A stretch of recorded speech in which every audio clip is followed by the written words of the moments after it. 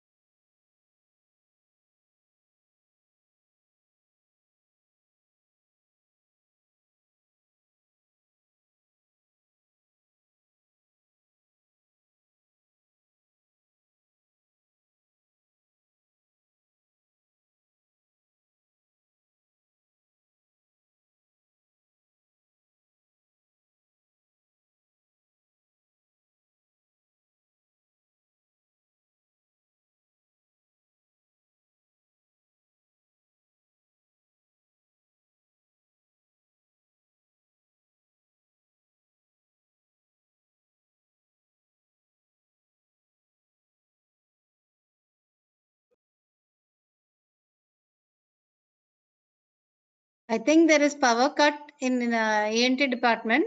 So you can wait. Sir will join again.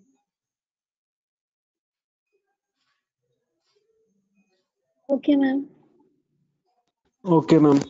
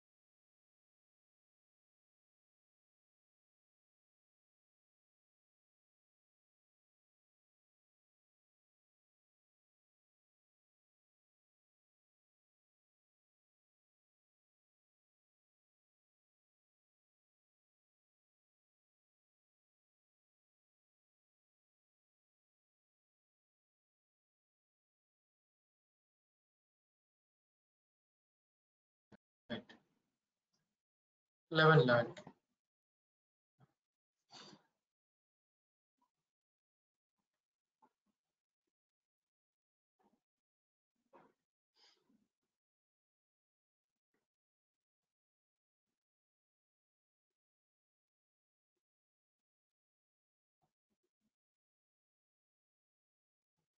Students,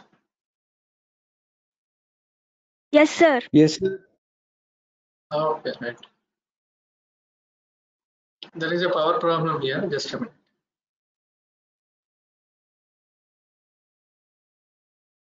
madam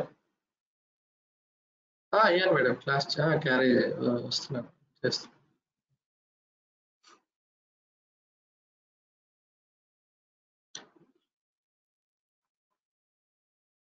So we are discussing about the natural constructions of the esophagus. So number one is the at the cricopharyngeal sphincter, that is the uh, C6 cervical vertebra. So that is the one. Second one is the where the left main bronchus or the arch of aorta crosses the esophagus. That is the T4 uh, vertebra. That is the, thoracic number four. T4 vertebra. That is the the length from the upper incisor is the 25 centimeters. So that is the second natural esophageal constriction. And third one is the that is the where the uh, esophagus pierces the diaphragm. That is the T10. So the length of the esophagus from upper incisors is the for lower constriction is the around 40 centimeters. So we'll calculate the length from the upper incisor while doing the esophagoscopy. Natural normal length of the esophagus is 25 centimeters. So these constrictions are the at the level of the 15, 25 and the 40 centimeters if you see from the upper incisor teeth. So we'll have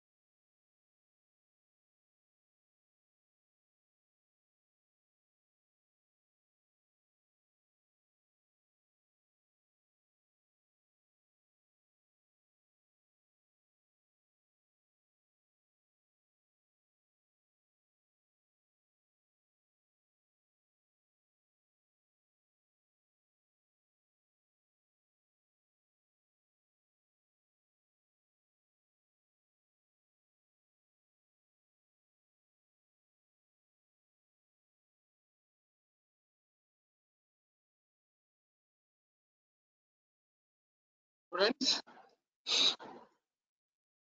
Chanakya. Students, Yes, sir. yeah, yeah. So if you see the cross section of the esophagus from inside out outward, so there is a mucosa, submucosa, and the muscularis layer, and also serous layer. Out, outside of the esophagus, there is a serous layer, muscular layer, mucosa, submucosa. So this is about the anatomy of the esophagus. Then we will discuss about the physiology of esophagus or the swallowing mechanism. So the, the food once you kept into the oral cavity, it is a, it will be chewed by the tooth and it is lubricated with the saliva and it forms a bolus. So within the oral cavity, it forms a bolus. Then it will propel into the towards the hypopharynx. Oropharynx then into the hypopharynx. So in the process of the deglutition there are three phases. Number one is the oral phase or buccal phase. Number two is the pharyngeal phase. And number three is the esophageal phase of deglutition or swallowing. So among these three phases oral phase is the voluntary phase. It will be in our control. The pharyngeal and the esophageal phase are the involuntary mechanisms. Okay? So within the oral cavity the food or any object in the oral cavity is chewed by the tooth and it will be made into a small pieces and it will be lubricated with the saliva then it forms the bolus food bolus so liquid or solid it is transferred from the buccal cavity to the stomach that is the that that uh, process is called the deglutition so it is having the three phases, oral, pharyngeal and the esophageal phase. Oral phase is the voluntary, pharyngeal and the esophageal phase are the involuntary phases. So once the bolus is formed, so normally food must be masticated and lubricated in the oral phase with saliva and converted into a bolus. Then it is pushed by the tongue against the hard palate into the pharynx. So that is the oral phase of the swallowing. So once the tongue pushes the bolus into the uh, towards the oropharynx then pharyngeal phase will start. In pharyngeal phase so it is a involuntary phase. So once the food bolus touches the pharyngeal mucosa or oropharyngeal mucosa, there is an involuntary reflex contractions of the uh, soft palate and the oropharyngeal isthmus and also laryngeal inlet. So that food will not re-enter into the oropharynx or into the larynx so it will prevent the aspiration so there is a involuntary involuntary involuntary reflex mechanism of the contractions so that food will not regurgitate into the either nasal cavity or into the oral cavity or into the larynx. So that is the pharyngeal phase of the swallowing. In pharyngeal phase, once the food bolus touches the pharyngeal mucosa, there is a reflex contraction of the soft palate against the there is a bulge in the posterior pharyngeal wall that is called the Passavant's ridge. So that formed by the palatopharyngeus muscle.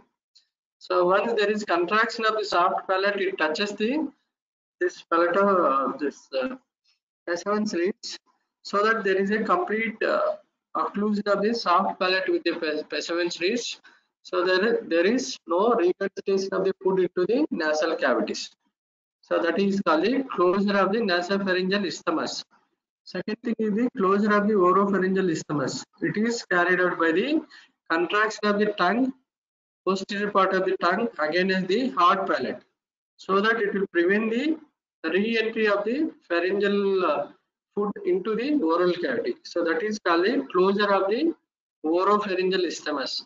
So there is complete closure of the oropharyngeal isthmus by the contraction of the tongue and the nasopharyngeal isthmus by the contraction of the soft palate against the Passavant's ridge so that it will uh, prevent the regurgitation of the food into the nasal cavity. And third mechanism is the closure of the larynx. So laryngeal closure is carried out by the three type mechanism. One is the uh, movement of the epiglottis towards the laryngeal inlet, and second one is the it will it will uh, cause the closure of the laryngeal inlet and also contraction of the false vocal cords and the true vocal cords. And also there is temporary cessation of the respiration during this pharyngeal phase. So temporary cessation of the respiration and closure of the laryngeal inlet by the epiglottis, false vocal cords, true vocal cords. So these three mechanisms will prevent the regurgitation of the food from the oropharyngeal uh, pharyngeal phase into the nasal cavity, oral cavity and the larynx. So then slowly food goes towards the this esophagus. So there is a simultaneous contraction of the cricopharyngeal sphincter. So, so that there is a opening of the cricopharyngeal sphincter and food will enter into the upper part of the esophagus. So once the food enter into the esophageal uh, esophagus, there is a there is start of the esophageal phase. So there is a contraction of the rhythmic contractions of the esophagus that is called the peristalsis. So these peristaltic movements will uh, helpful for the passage of the food from the upper part of the esophagus to the lower part of the esophagus. So once the food reaches the lower part of the esophagus, there is a sphincter again there. So that is the lower esophageal sphincter. There is a relaxation of the lower esophageal sphincter.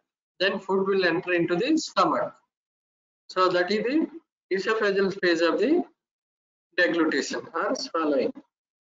So these three phases are the important for the swallowing mechanism. Oral phase, pharyngeal phase, and the esophageal phase. Esophageal phase is mainly depends upon the relaxation of the upper esophageal sphincter and simultaneous contraction of the esophagus that is the peristaltic movement and dilatation or relaxation of the lower esophageal sphincter so that food will enter into the stomach.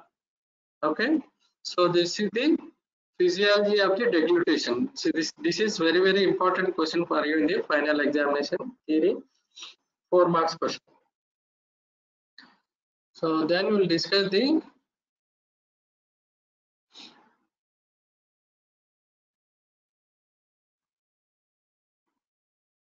diseases of the esophagus.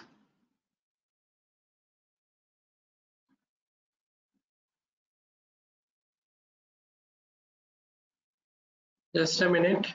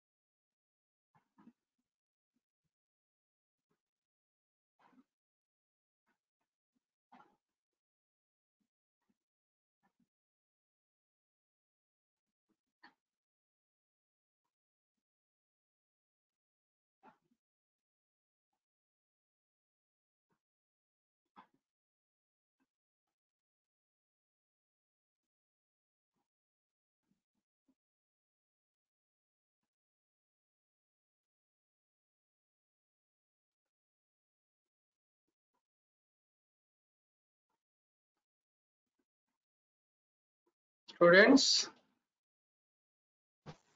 Yes, sir. are you able to see the PPT? Chanakya? Yes, sir. Okay.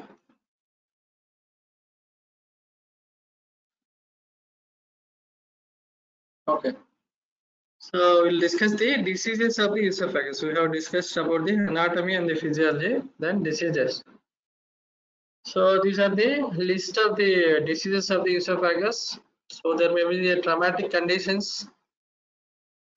So due to the accidental ingestion of the acids and alkalis and esophageal perforation. So it may be traumatic or iatrogenic. During the esophagoscopy, there is a chance of injury to the posterior wall of the esophagus that is called the esophageal perforations. So there is a stricture or narrowing of the esophagus. It may be congenital or acquired. Congenital is very rare. So most of the time we'll see the chronic esophageal diseases are uh, as a sequel of the, these corrosive injuries, acid or alkali injuries will cause the stricture formation in the esophageal wall. Then Plummer-Vinson syndrome, we'll discuss about in detail about this Plummer-Vinson syndrome. The other name for this is the Paterson-Brown-Kelly syndrome. So it is important four marks question for you.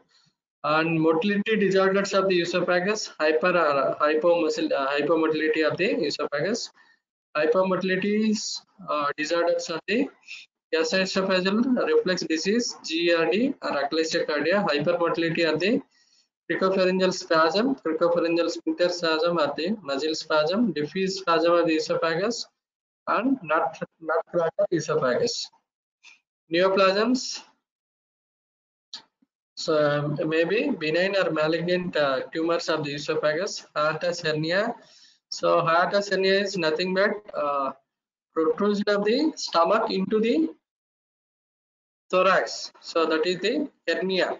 So through the diaphragmatic opening of the esophagus, this stomach will herniate into the thorax. That is called the hiatus hernia and globus hystericus. So globus hystericus is nothing but it is a psychological disorder without any organic problem. The patient will feel the something or a lump in the throat. So in between the uh, swallowings or in between the eating, so they will feel this some uh, lump in the throat. So that is most of the time that is psychological problem without any organic lesion. If you examine the throat, everything will be normal. So we need to counsel the patient and that is not a disease. You have to educate the patient about the problem. That is called the globus hystericus or globus pharyngeus. So they will feel this something in the throat. That is called the globus hystericus or globus pharyngeus. So lump in the throat. So first we'll discuss about the traumatic conditions of the esophagus. That is the acid and alkali injuries or corrosive injuries of the esophagus and also the perforation of the esophagus. So coming to the etiology for this corrosive injury, it may be accidental or suicidal attempt. attempt. So usually in children it is accidental ingestion of the acids or alkalis. Uh, in adults it is maybe a suicidal attempt uh, for the ingestion of the, these acids and alkalis. So here we need to uh, remember the alkalis burns or alkalis injuries to the esophageal wall is more dangerous compared to the acid injuries. So coming to the pathology, so once the, the acids or alkalis will touch the esophageal wall, there is a uh, necrosis or erosion of the mucosa, then granulation tissue formation, then stricture formation we will see. So the severity of the problem of the, this corrosive injury will depend upon the concentration or quant, uh, quality of the acids or alkalis and amount of time of exposure to the these acids and alkalis to the uh, esophageal mucosa. So type of uh, corrosive quantity of the these acids or alkalis, quantity, quality or concentration and duration of the contact with the esophageal wall. So this will decide the severity of the injury. It may be mild, moderate or severe depending upon the concentration of the acids or alkalis and also time of contact with the alkalis. So there are three stages, stages in the pathology of the, these corrosive injuries to the esophagus. So necrosis, granulation tissue formation and the stricture formation. Immediately there is a necrosis, then in healing process there is a granulation tissue formation. Then stricture formation. So stricture formation is a late sequel of the this corrosive injury to the esophageal wall. So clinical features of a patient with the, this acid or alkali injury is the, so you can see the burns in and around the uh, mouth or oral cavity, buccal mucosa, pharyngeal wall. If you examine, there is an entire burning of the mucosa and also slough formation in the oral cavity and the oropharynx. So if you do the video laryngoscopy, you can see the all surrounding areas there is a burn. So during this swallowing process, so the wherever the acids or alkalis are touches in the pharyngeal wall, there is a uh, necrosis and also slough formation. You can see. then if there is a uh, this strong alkalis or uh, acids will cause the perforation of the esophagus then we'll see the peritonitis or mediastinitis and patient will have the if the the amount of the acid or alkali is more they will have the symptoms of the shock.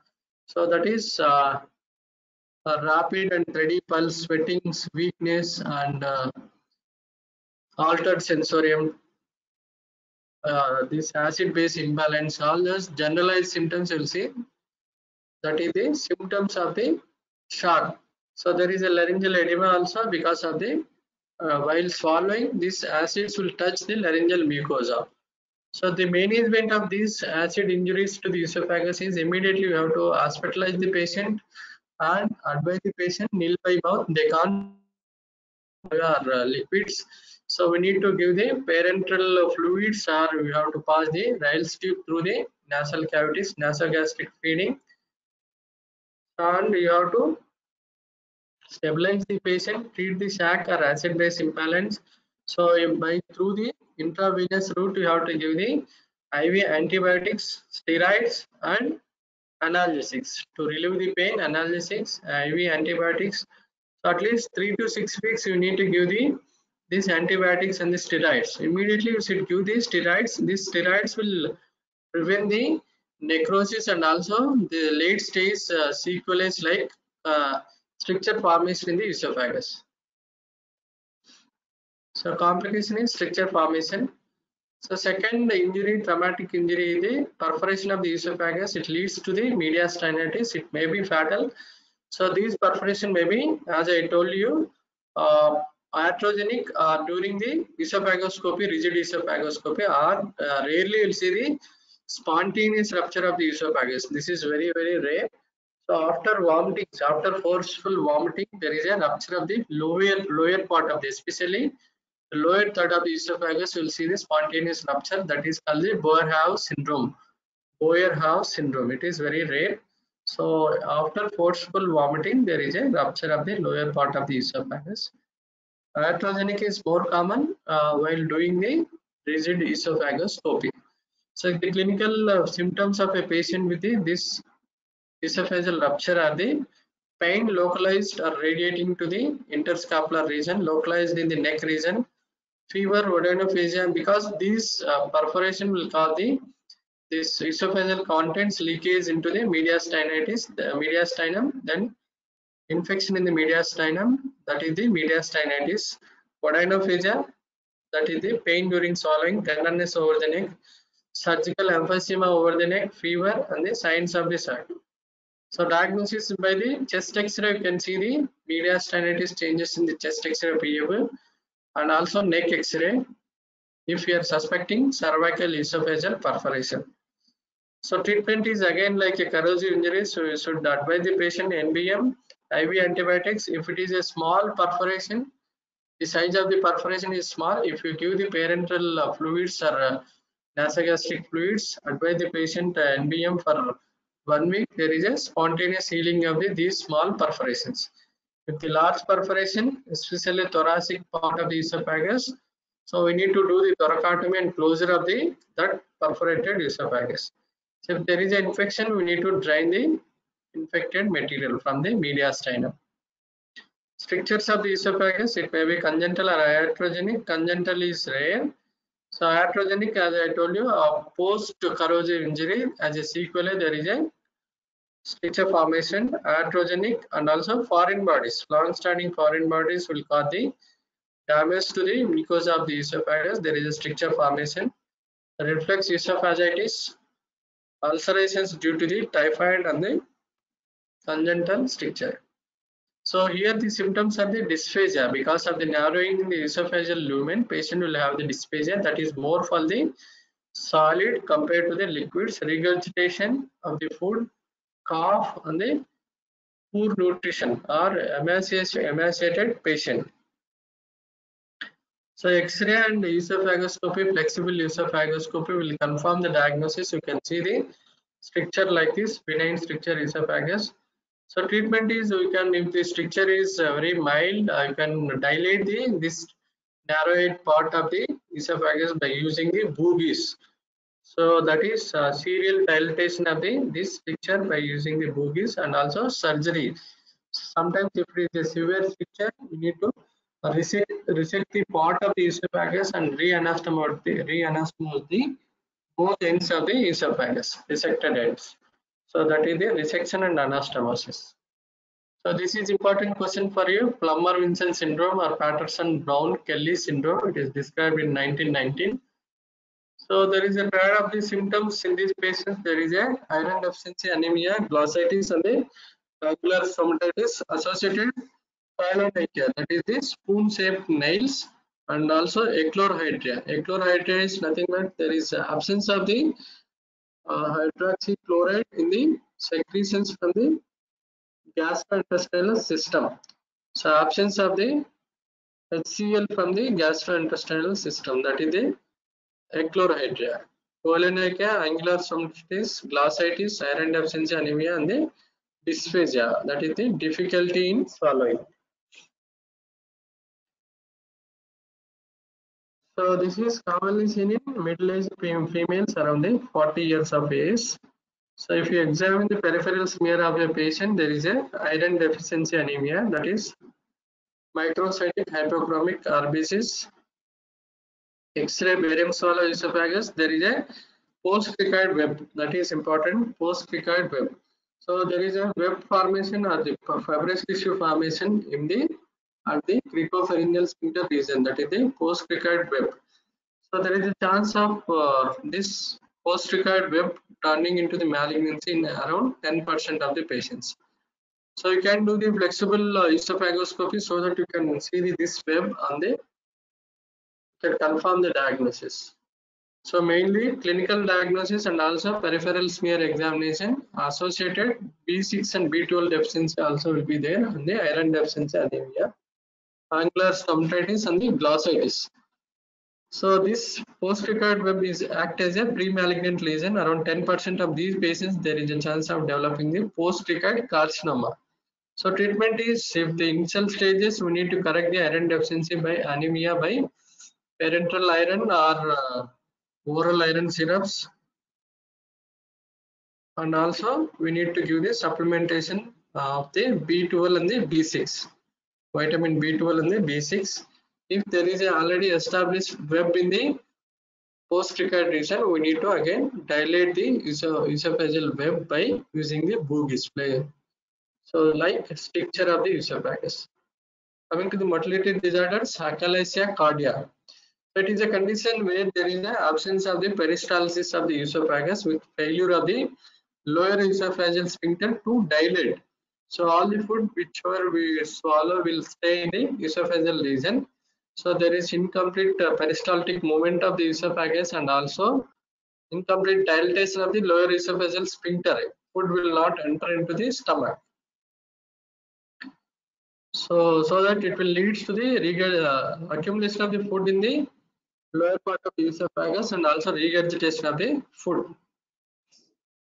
So the exact cause for this achalasia cardia is uh, not known but the probable etiology is degeneration of the Auerbach's plexus. So this Auerbach's plexus is uh, the other name for this is the myenteric plexus. There is a group of ganglions between the muscular layer of the esophagus. That is the inner circular and the outer longitudinal layers of the esophagus. In between there is a group of ganglions that is called the Auerbach's plexus or the myenteric plexus. So this plexus is helpful for the peristaltic movement, initiation and the progression of the peristaltic movements of the esophagus.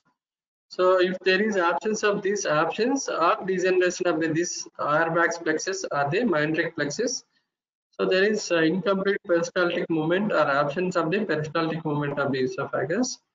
So then there is a accumulation of the food and also simultaneously there is uh, no relaxation or no dilatation of the lower esophageal sphincter. So all the food whichever we swallow will uh, retain in the lower esophagus and then it will regurgitate into the uh, into the oral cavity. So it is also seen in the middle-aged females. Dysphagia is more to liquids. Okay, so if there is any so here we need to remember while we are asking for the history of a patient with the dysphagia so we should ask the patient whether they are having the difficulty in swallowing more for the liquids or solids. So if it is for the liquid, uh, liquids, we need to suspect some neurological problem in the esophageal wall or some neurological condition.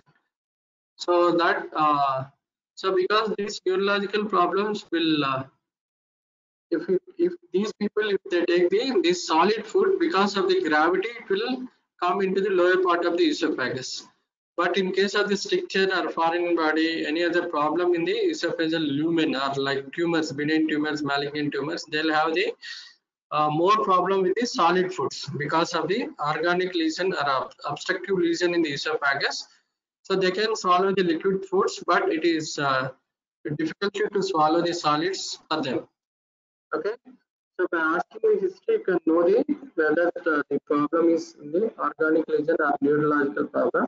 So if the uh, difficulty in swallowing for the liquids, that means there is a problem in the neurological problem. If the solids, there is a problem in the organic lesion or some obstructive lesion in the esophagus. So and also the other symptoms are the retrosternal discomfort, aspiration pneumonitis, and poor nourished uh, patient. So X-ray barium swallow. So that is the contrast X-ray of the esophagus. So you need to give the contrast material orally, and then immediately you need to take the X-rays, both AP and lateral views of the esophagus. Then you can see the uh, norm uh, this esophageal anatomy. So dilatation and tortuosity of the esophagus with uh, smooth pencil sharp, pencil sharp narrowing of the lower part of the esophagus. So that is called the bird beak appearance of the lower esophagus or rat tail appearance of the lower esophagus. That is a classical finding of the barium swallow of the esophagus in a patients with the cardiac achalasia or achalasia cardia. So and also you can see the flexible esophagoscopy so that uh, you can see the esophagus is filled with the this accumulated materials.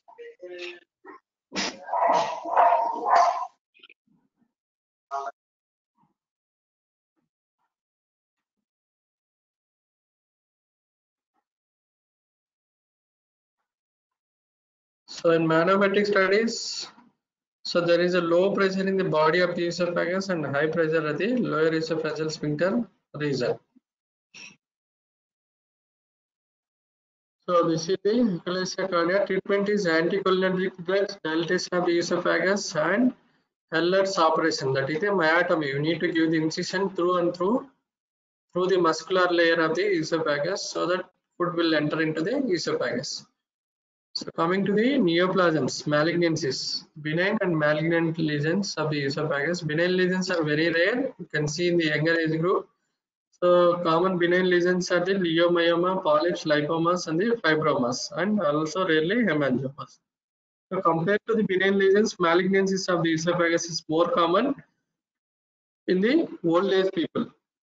So in between the 50 to 70 years of age, in India, it is 3.6% of the cancers in the higher socioeconomic group. It is the esophageal cancer and 9.13% in the poor socioeconomic group. So the common etiology like other ca other cancers in the body like smoking, alcohol ingestion, tobacco chewing, ingestion of the nitrosamines, and pre-existing benign lesions in the esophagus like strictures, hiatus hernia, cardiac achalasia, diverticular, and the Plummer-Vinson syndrome are the pre-malignant conditions which turn into the malignancy. So most common uh, histopathological type is this squamous cell carcinoma around 93%. Rarely will see the adenocarcinoma. So most of the upper two-thirds will see the squamous cell, lower one-third will see the adenocarcinoma. Spread of the CA esophagus is local spread, lymphatic spread and the hematogenous spread. So locally it may spread into the lumen of the esophagus, trachea, bronchus or the it may cause the paralysis of the left recurrent laryngeal nerve. Lymphatic spread into the periesophageal lymph nodes, cervical lymph nodes, supraclavicular, mediastinal, celiac. This there is a submucosal skip lesions in the esophagus. So if you see the uh, one part of the esophagus and another part of the esophageal lumen also will see the skip lesions through the submucosal lymphatic spread.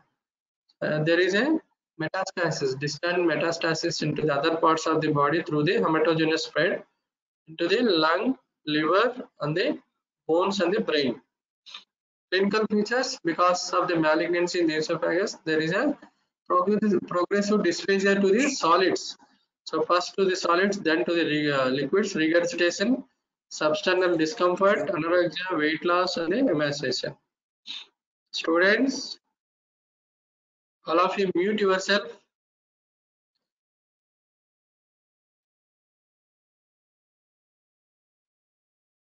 So diagnosis of the CA uh, esophagus is by the clinical history and also radiological investigations like barium swallow and also CT scan. So CT scan will be helpful for the regional lymphatic spread and also distant metastasis and to know the exact spread of the disease into the surrounding structures.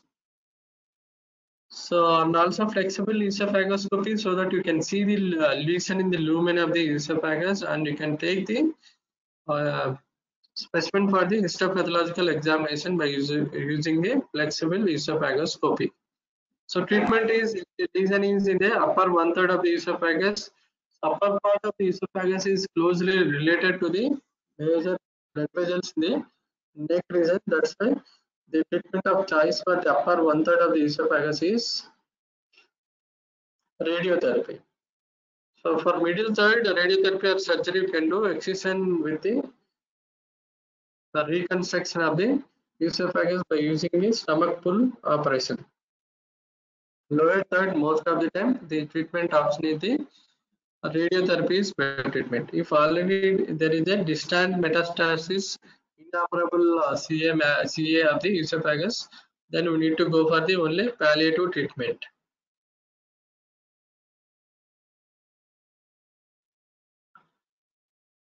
So that is by the chemoradiotherapy and also laser resection to debulk, debulk the tumor so that patient can swallow the food. So prognosis is poor in the CM uh, esophagus. Five-year survival rate is only 5 to 10 percent. So last disease is gastroesophageal reflux disease.